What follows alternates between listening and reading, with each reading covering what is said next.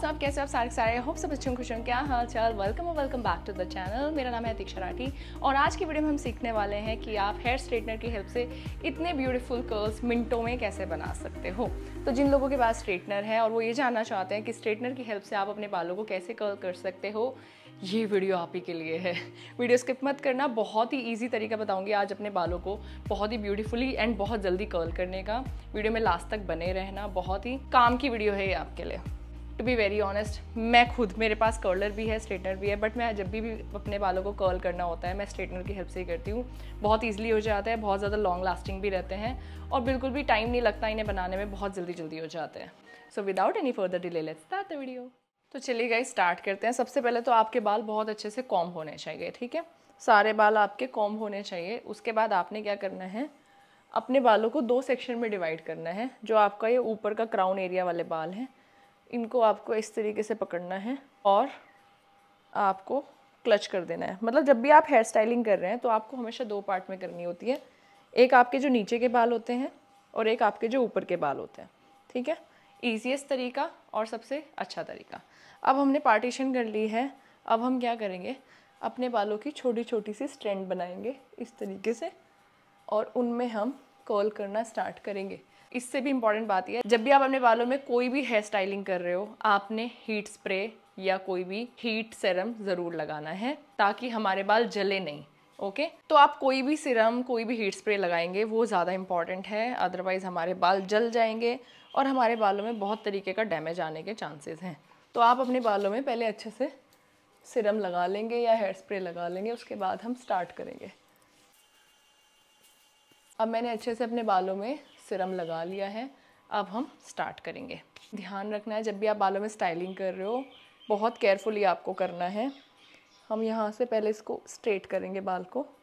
ऊपर की साइड से थोड़ा सा, एक बार स्ट्रेटनर चला लेंगे। धुएँ उठ रहे हैं।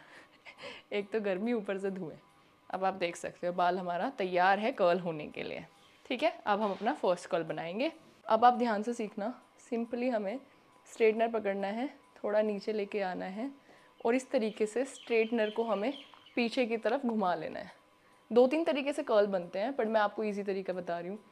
इस तरीके से आपने घुमा लेना है, फिर अब धीरे धीरे हम अपने बालों को इस तरीके से नीचे की तरफ़ खींचेंगे स्ट्रेटनर के साथ। बहुत प्यार से करना है, बहुत पेशेंस के साथ करना है, बहुत आराम आराम से करना है। कोई जल्दी नहीं इसमें आप दिखा सकते, ठीक है? हमारे कर्ल उतने ही प्यारे बनेंगे जितना हम इसमें सब्र दिखाएँगे। ओके ये देखिए। लुक एट दिस कर्ल कितना सुंदर कर्ल बन के तैयार हुआ है। ठीक है? ये सबसे इजी तरीका है स्ट्रेटनर के साथ कर्ल बनाने का और ये आप देख ही सकते हो कितना बाउंसी कर्ल बना है हमारा। एंड हेयर स्टाइलिंग करने के बाद आपने हेयर फिक्सर ज़रूर यूज़ करना है। कोई भी आप हेयर फिक्सर यूज़ कर सकते हो। चाहे तो आप साथ साथ कर्ल्स बनाते टाइम भी यूज़ कर लें या फिर आप बाद में एक बार हेयर स्टाइलिंग पूरी हो जाए तब यूज़ कर सकते हैं। So guys you can see कितना अच्छा कर्ल बना है हमारा। अब हम आगे के बाल धीरे धीरे कर्ल करेंगे। एंड गाइज़ इसमें एक चीज़ और है। आप चाहें तो ये कर्ल थोड़े ऊपर से बना सकते हैं। आप चाहें तो ये कर्ल सिर्फ़ नीचे नीचे बालों में बना सकते हैं। That is completely up to you पहले एक बार हमें स्ट्रेटनर लेना है और इस तरीके से बालों में खींच लेना है ताकि हमारे बाल थोड़े स्ट्रेट हो जाएँ। अब हमारे बाल सेट हो गए हैं। अब जो दूसरा कर्ल मैं बनाऊँगी वो आपको नीचे बना के दिखाती हूँ। जिनके बाल लंबे हैं, वो सिर्फ़ नीचे नीचे के बालों में भी कर्ल ले सकते हैं।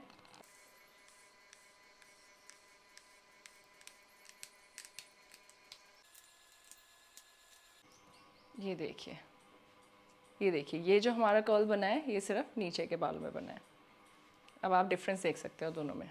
तरीका सेम था। ये आपके ऊपर डिपेंड करता है, आप कौन सा लुक लेना चाहते हो। आप पूरे बाल में कर्ल देना चाहते हो, आप थोड़े ऊपर से दे सकते हैं। आप सिर्फ़ नीचे के बाल में कर्ल देना चाहते हैं, आप नीचे नीचे से दे सकते हैं। ठीक है?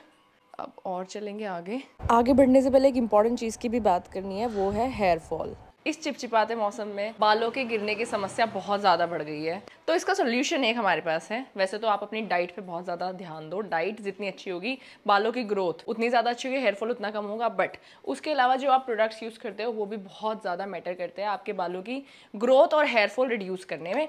तो यहाँ पर मैं बात करने जा रही हूँ मामा अर्थ की newly launched rosemary hair care range की। तो मामा अर्थ की जो ये हेयर केयर रेंज है स्पेशली रोजमेरी के साथ, ये हमारे बालों की ग्रोथ में बहुत हेल्प करती है और बालों का हेयर फॉल बहुत कम कर देती है। और ये डर्मेटोलॉजिकली टेस्टेड प्रोडक्ट होते हैं इनके सारे। तो अभी जो मैं बात करने जा रही हूँ, वो है मामा अर्थ का शैम्पू मामा अर्थ का कंडीशनर एंड मामा अर्थ का हेयर ग्रोथ स्केल्प सिरम ये तीनों ही चीज़ आप अपनी हेयर केयर रूटीन में अगर शामिल करते हो तो आपका जो हेयर फॉल है वो बहुत हद तक रिड्यूस हो जाएगा और आपके बालों की ग्रोथ बहुत स्पीड से स्टार्ट हो जाएगी। सो so, पहले मैं बात करूँगी मामाअर्थ के शैम्पू एंड कंडीशनर की। इनके जो मेन इंग्रेडिएंट है वो है रोजमेरी एंड मेथी दाना। रोजमेरी के बारे में तो जितना बोला जाए उतना कम है। रोजमेरी के बारे में कहा जाता है कि गंजे सर पर भी बाल उगा सकता है। इसमें इतनी ताकत होती है। हमारे बालों को स्ट्रॉन्ग करता है और हमारे न्यू बेबी हेयर उगाने का भी काम करता है। और अगर मैं बात करूँ मेथी दाना की, मेथी दाना भी इक्वली इंपॉर्टेंट है। ये हमारे बालों की ग्रोथ बढ़ाता है, ये हमारे बालों में शाइन पैदा करता है, ये हमारे बाल सिल्की एंड स्मूथ बनाने में हेल्प करता है। अगर मैं बात करूँ मामावत ब्रांड की तो एक इंडियन ब्रांड है और इसके सारे प्रोडक्ट केमिकल फ्री हैं नेचुरल हैं।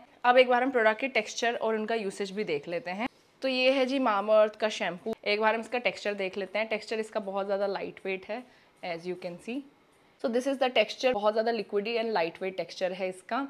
एंड इसकी खुशबू भी बहुत ज़्यादा लाइट है। सेम रेंज का हमारे पास कंडीशनर है तो जब आप शैम्पू करते हो, आप ये कंडीशनर भी उसके साथ यूज़ कर सकते हो फॉर बेटर रिज़ल्ट कंडीशनर का एक बार हम टेक्सचर देख लेते हैं।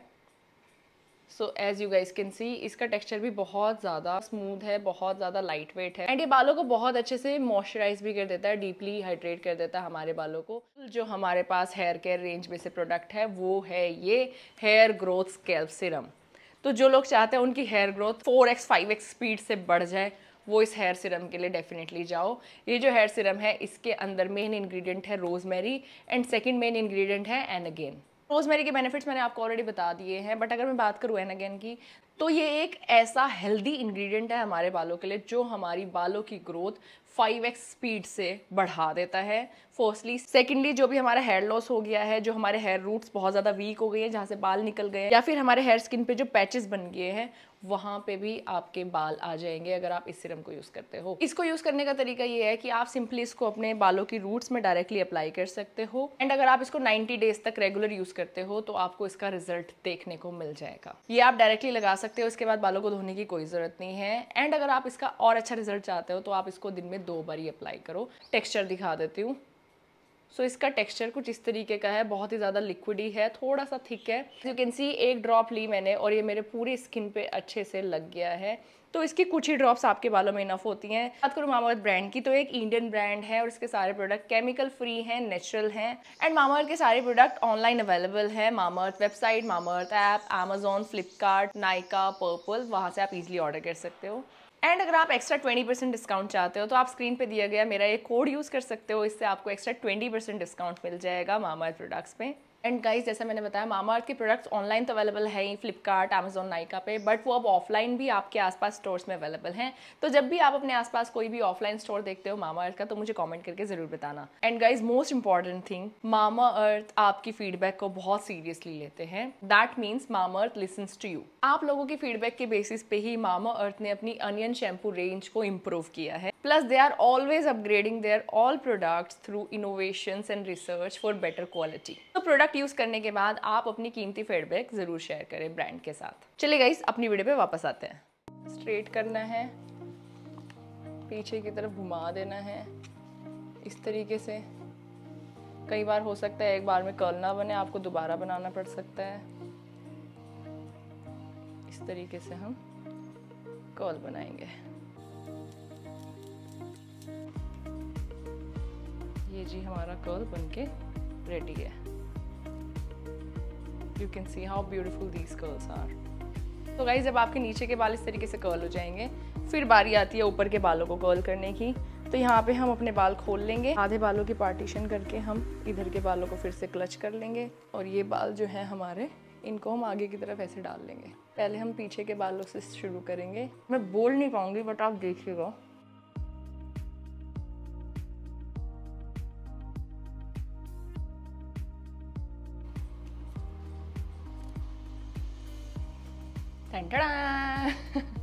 ओके फिर हम इनको पीछे डाल देंगे। इसी तरीके से हम आगे पार्टीशन करेंगे।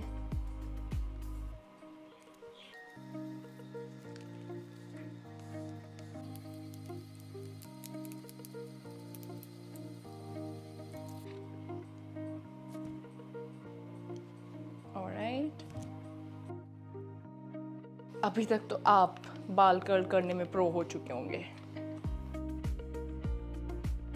बालों में इस तरीके का झटका भी लगता है तो डरने की बात नहीं है। और नीचे से कई बार जब आपके बालों की स्ट्रेंथ ज़्यादा पतली हो, जैसे मेरी थी तो नीचे से हल्का सा इसको इस तरीके से घुमा लीजिए। कुछ सेकंड्स के लिए छोड़ दीजिए और फिर here we go you can see